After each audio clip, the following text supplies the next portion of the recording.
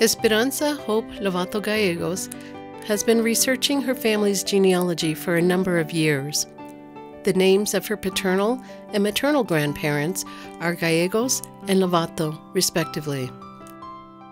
On the 10th of July 1751, the King of Spain granted to Captain Juan Jose Lobato, son of Bartolome Lobato, to take possession of Las Trampas land grant.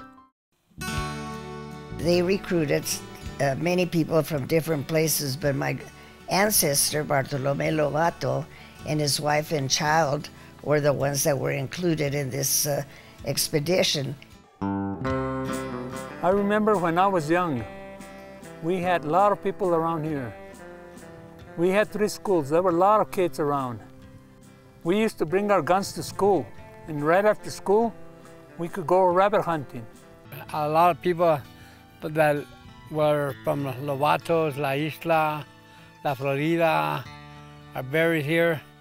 And uh, as you notice too that, that there's a rock as a headstone, like some of the old graves.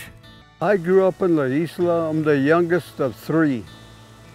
Sencionita was my oldest sister, my oldest sister.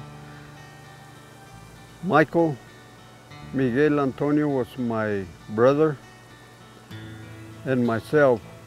I'm the only one left in the family. But I know that I never finished the fourth grade. And so I had to finish that when I went to the school in Antonito. Which I know that we have the Salazares, which is your side of the family, the Pereas, the Chavezes, that were very close like family. Well, I was always with my uh, grandpa. I mean, if he went to for wood, I used to go with him, and everything.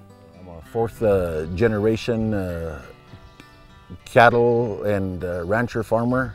My parents were involved in the cattle business also, my grandparents, uh, uncles, aunts. It's very important to keep our traditions because it's part of who we are. Uh, uh, our traditions are who we are, our past, our parents, our grandparents, our great grandparents, all the people who've been here.